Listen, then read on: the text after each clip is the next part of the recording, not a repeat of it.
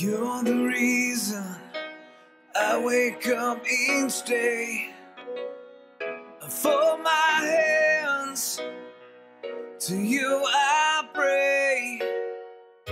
Thanking you for carrying me through.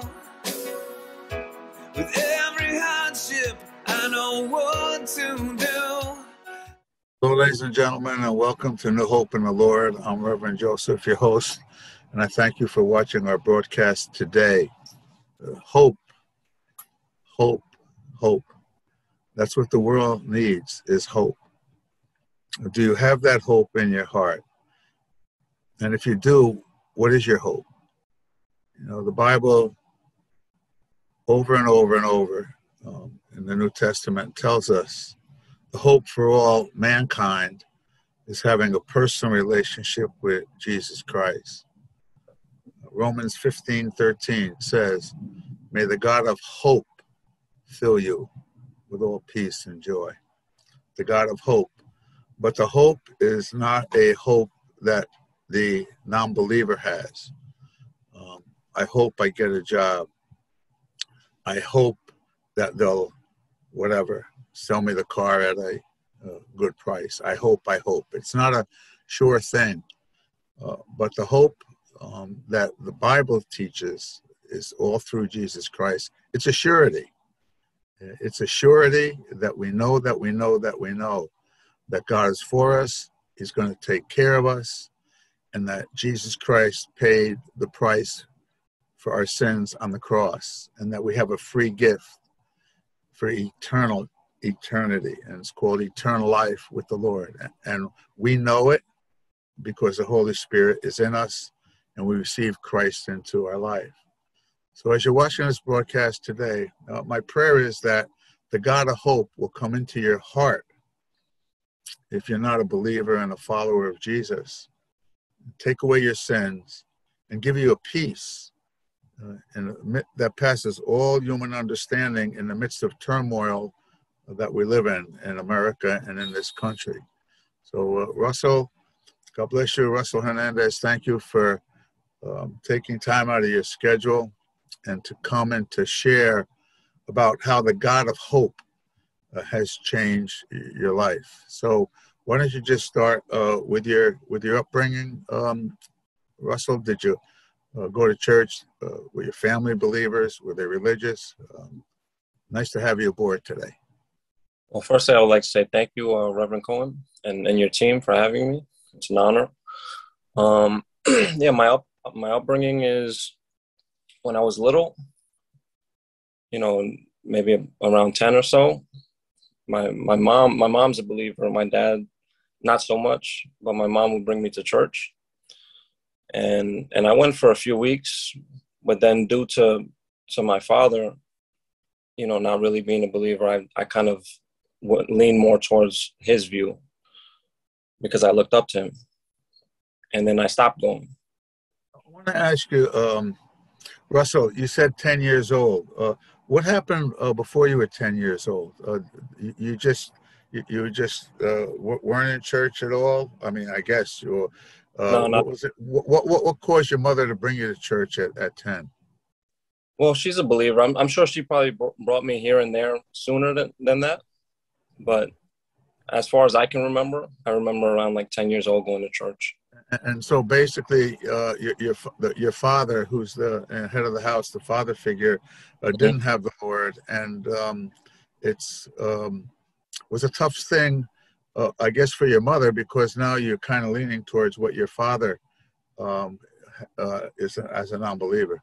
Right, right, right. You and know, so, just the the father figure and and me yeah, being a yeah the, the father figure. So now, uh, as as you're not uh, going uh, to church, you're not hearing about Jesus. When you did go, uh, were you um, listening to what uh, was said? And if you were, did you hear about uh, the born again message? Um, I may have, but I don't remember it because I wasn't really taking it serious serious at the time, and and I remember just really singing mostly uh, in that particular church singing songs and, and doing like children's ministry that maybe wasn't the best children's ministry. you know. So so now why don't you just start to share about uh, what happened uh, in your journey uh, of your life, um, you know, after you know you're leaving church and kind of uh, growing up in your school and so forth. Right. so I was in school, and and throughout school, uh, you know, junior high school, high school, I considered myself an atheist.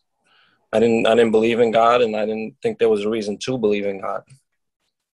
It wasn't until I was about 18 or 17 rather when I first had an encounter with the Holy Spirit.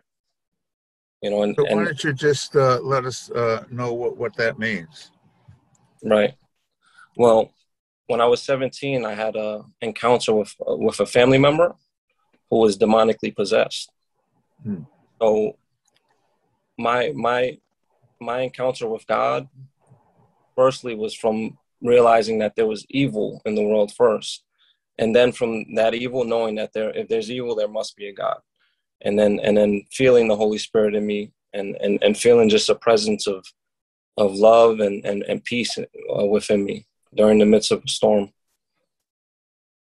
When you say uh, feeling the presence, um, was there any time um, in in your life uh, up to that point where you asked, where you were an atheist? I mean, uh, um, how did Christ? I mean, you personally didn't ask him to come in your heart, I would gather, but now you're saying you're feeling his presence.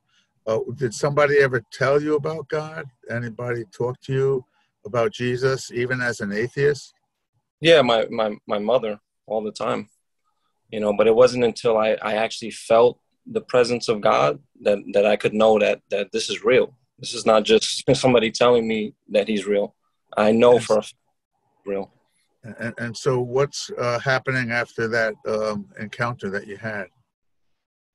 Well, after that encounter, you know, me being stubborn, I didn't, I didn't, you know, I, I knew there was a God, but I didn't, I didn't know who God was and who God is. So I didn't, I didn't know about Jesus Christ yet, really. So, fast forward about two years later, I met my my girlfriend at the time, now now wife, and and she brought me to to Yorktown Assembly of God. So, when she brought me to to Yorktown Assembly of God, that's like the second or third time I felt the presence of God and the and the Holy Spirit working within me. From there, um, Pastor Foster led me to Christ, and and that's when I started learning learning more and, and reading the Word and and figuring out what what everything meant. Before you had come to Christ, um, what was your life like? Your makeup within? Um, did you have a lot of fear? Did you have a void uh, in your life? Uh, were you out there in the world? Were you partying? Um, did you ever ask yourself, "What am I doing here? Uh, why was I born?" Yes, all of that. you know, I was out in the world. I was doing the wrong things. Um, I had a lot of anxiety, a lot of fear about what I, what was going to happen when I die. You know, I had I had uh, depression, all of the above, and and and more importantly, a, a hole in my heart. That's a a hole that only Christ can fill. You know, a Christ-sized hole. So basically, uh, Russell, what you were doing is you were just doing um, what, um, well, children uh, your age and unfortunately even younger um, are, are doing now uh, because of the void that's in your life and was in your life and their life uh, to trying to fill that fill that fill that void and um, the depression that you had um, what what what is there anything particular that you would think uh, that would cause that in your life? Um, just different things. It could have been, uh, you know, my, my parents got divorced. That that was one thing that triggered that. Um, you know, just just not having hope in, in anything after this this temporal world. That that also triggers it. I mean, after after finding Christ, you you realize that that this this world is only temporary, and the plans that God has for us are eternal. So it doesn't end here. With your father, um, what kind of relationship uh, did you have uh, with him uh, before the divorce and, and then after the divorce? We didn't have a, a very good relationship at all. Um, you know, and, and I worked I worked with him doing carpentry for about nine years. Wow. so at 17, I left home. I moved to the I moved to Manhattan, the Upper East Side, and then I I started working carpentry. And then um, you know I worked with him for nine years, and and we had a terrible relationship to the point where I had to I had to quit just to rebuild our relationship. You know, this is uh, a, a, tremendous um, happening uh, in the world, um, but not just today. Um, for a long time, um, Satan wants uh, the family to be broken up right. through divorce, and he also wants um, children not to have a father figure active in their life. Yeah. Uh, b- because, um, and, and here it is, uh, Russell, you're you're working with your father uh, for, nine years, and, and, and you have animosity in, in, your heart. He has animosity, maybe in his heart uh, towards you, and um, it causes you to quit. There must have been a, a lot of anger that was in your in your soul. Yeah, yeah. Yep. And did, did the anger did did you take it out? Uh, what what ways did you take take it out uh, in? Because, uh, or did you just keep it in? Hmm. And it, it, was just you know like a like a explosion that could happen at, at times. You know, there's people that have this anger, and without going to God and getting it forgiven, and, and God forgiving you, you know it could be an explosion. What was that like in your in your life? You hit you hit the nail on the head. Uh, i was the type that you know i would hold it in whatever it is and i would just let it fester and build up and build up and build up until finally there's no more containing it and i would just explode. So after meeting christ you know I, I remember just crying out to him and and you know asking for forgiveness and and just you know being open and honest and, and sorry for, for everything I've done and and not forgiving other people for what they've done to me. And then I remember just crying out and then just a wave of peace coming over me. You know, undescribable. say that again. What came over you? Like a wave of peace. Mm-hmm. You know, peace, happiness, joy. Uh, you probably thought, Russell, that um, in your younger years, um, partying and doing uh, what you were doing, because um, when you're in that kind of situation, uh, you just feel that way. You feel good, you feel peaceful, you feel happy. Uh, what happens after you stop doing that, what you're doing? Like you got to go home and go to bed and wake up in the morning. Yeah. How was that compared to you waking up in the morning now? Well, before you know, you you go out, you have fun, you know, you do whatever you want, and and admittedly, it's it's very selfish. You know, you're just doing whatever you feel that you that you want to do, and then when you go home, you're you're just like depressed because now you're alone. You know, there's not all this this fun and these highs to go off of, whether that be drugs or alcohol or or hanging out and, and doing things with women and stuff like that. And now when I when I go home, you know, I have I have peace about me and I'm I'm happier than ever. It's like true happiness. Whereas in the world you, you think that's happiness, but in reality it's it's really not. I was very um, happy to hear uh, about you're working uh, with your relationship with your father um, to to kind of amend it. Um, without Christ in your life, and if I was just speaking to you on a program that was secular, mm-hmm. uh, and you didn't have Christ in your life, would that ever have been possible? Not, no, not likely. you know, not likely at all. You know, I may have even turned into something bad.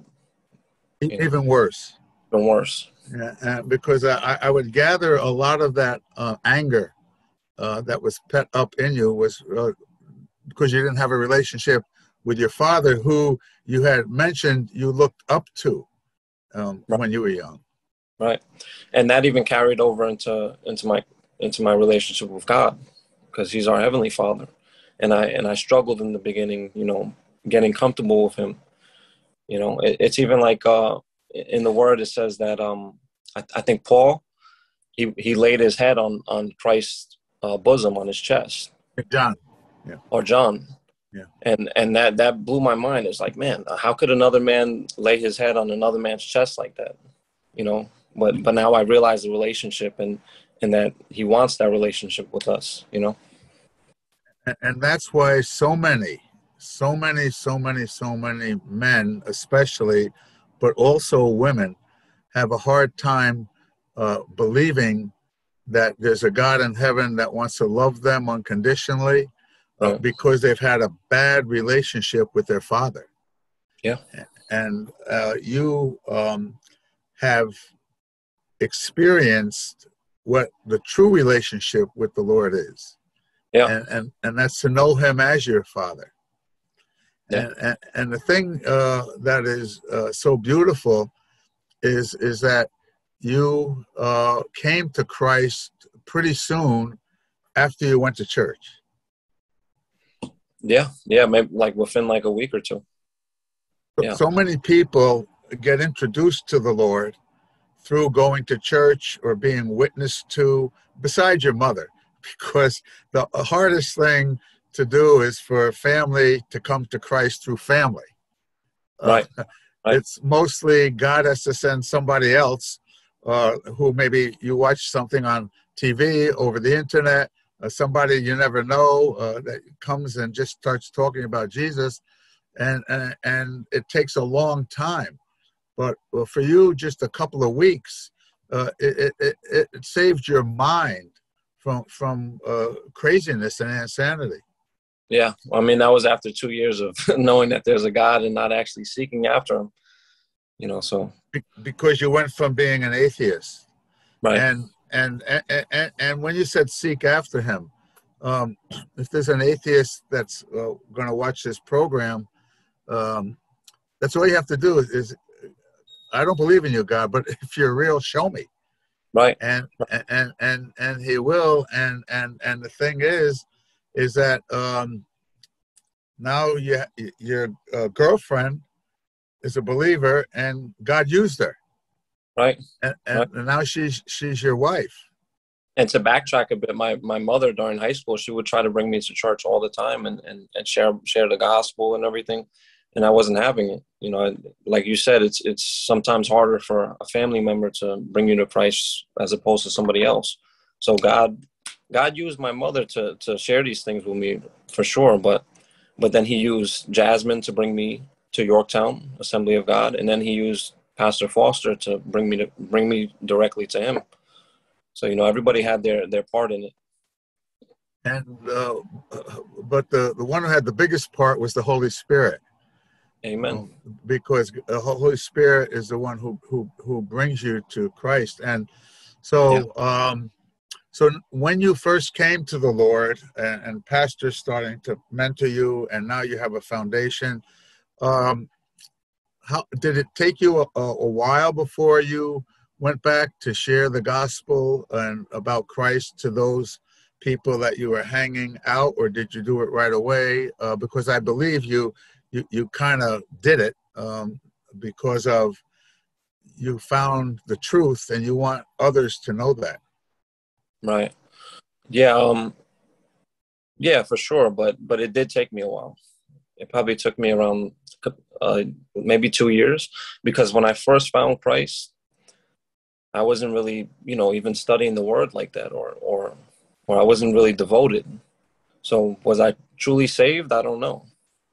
well, You know- yeah you were because jesus was your savior Yeah, but Uh, but I don't.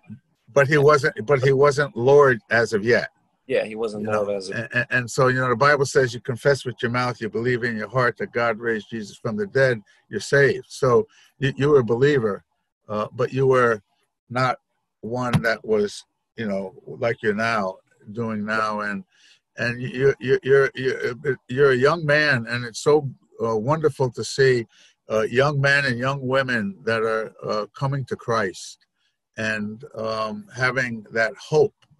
And so, what what did God do for you in your journey? Uh, because you have a purpose and a plan, and God has a hope and a future for you. Uh, what, what's been going on, uh, Russell, now? Well, um, you know, I've I've done uh, media for Yorktown for several years. Um, I helped in in the youth ministry with the high schoolers, um, and then basically anywhere else I'm needed, I'm I'm always willing and available. You know, right now my wife and I are looking to maybe sponsor some children in another Great. country. Any any way we can give back because God has blessed blessed us more than I can more than I can say. You know, and He's always been gracious to us, even though we don't deserve it and we can never earn it. You know, and to backtrack really, uh, my encounter with with God, it's it's funny how it works because what the enemy meant for evil, God turned it around and used it for good. So that that demonic possession of a family member was meant to to break me down, but it actually ended up bringing me closer to God. It actually uh, brought you to believe there was a God. Right. Right.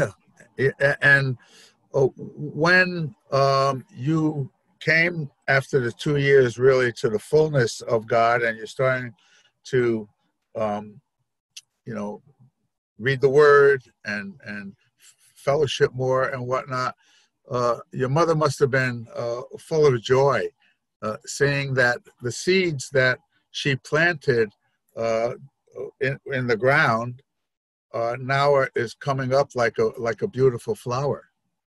Yeah, she loves it. You know, she she couldn't be happier, and rightfully so because now now you have like a security about that that person. You know, and she knows that her her son Russell is going to be in heaven uh, once he dies and not judged for his sins, which God doesn't want anybody to die and go to hell in the lake of fire because that's what Jesus died on the cross for, so that we would have hope here on earth, but then know that when we're absent from the body, we'll be present with the Lord, and there'll be no pain, no sorrow, no sickness, no disease. There won't be any any um, crimes. It's just a whole bunch of all the the negative, evil stuff not going to be there. And now with your dad, um, uh, did your dad uh, make a commitment to Christ yet? um, or um, is he still a kind of um, the way that he was when you were, you know, growing up? Um, he's still kind of the way that he was. I mean, you know, I'm hoping that that the Holy Spirit is doing the work in him without me knowing, you know. And that happens a lot, but he has had he has had excuse me, he's had to see the change uh, in his son uh, from a um, uh, a, a young boy who was working with him for nine years, not wanting to have anything to do with him, and now having a relationship to be mended. Right, right, and that that relationship is for the most part mended, and and he definitely does see a change because he's told me that he see, he sees a change and he sees a peace about me, you know. Well, you just continue to let your light so shine um, and um, jealousy will come into his heart, and, and he'll, he'll say uh, one day, "My son has it, and, and I need it." And when you said that, a lot of time that happens, uh, Russell, where people are closer to the Lord than you would think, especially relatives, um, because they have that pride inside that would not kind of let them know that. But the Bible is very, very plain. In Acts chapter 16, verse 31, Paul told the jailer who was not a believer, you know, believe in the Lord Jesus Christ, and you and your household shall be saved. And uh, the jailer did come and get saved and his household. So uh, we, we just believe with you that your, your dad's going to get saved. So uh, why don't you just uh, share something uh, on your heart? There might be some younger people that are going to watch the show here that are out there uh, partying and going out in the world and um, having that depression, having that oppression when they go home and next day being the same old, same old person. and um, and just the worst thing is that when they die without Christ, they'll be eternally damned. So why don't you just share something from your heart? Right. I would just say, you know, the word says to seek Him, to seek the Lord with with all your heart, and you will find Him. So if you don't know Christ yet, seek Him. You know, even like you said, you know, I, I don't believe in you, God, but if you're real, reveal yourself to me. Just just do it. Seek Him. What's the worst that can go wrong? And and I promise your life will be forever changed. And for those that are already Christians, I would say just keep on keeping on. You know, it's not it's not easy as many as the world would would like to believe that being a Christian is easy, but it's it's really not. It's actually harder. And and just keep on keeping on and and stay steadfast in your in your prayer and your your reading of the word and just keep on keeping on. That's it. And and the reason why it's harder because um, when you do come to Christ, you you, you change allegiance. Uh, right. You change from one camp to the other. Uh, of course, there's Satan worshippers, uh, and there are unfortunately many of them, and they'll be eternally damned with him in the lake of fire um, forever, uh, unless they repent and come to Christ. Um, but there are a whole bunch of other people that do not know there's a devil but they're away from Christ and they're religious uh, into different type of things. Uh, but he has a hold of them. Uh, but once that individual comes to Christ, now he changes camp, and now the enemy comes pretty hard against you. Is there some situation, Russell, where um, the enemy came in uh, pretty bad against you, maybe you and your wife, and and then you could just uh, share about how God intervened? I mean, there, there's there's been times where I've definitely um, my faith has been tested for sure, but you know, not to the point where where I stopped believing or or it affected me too too much because my my faith I would consider my faith very strong. You know, whenever I have an issue or a problem, it's all right here.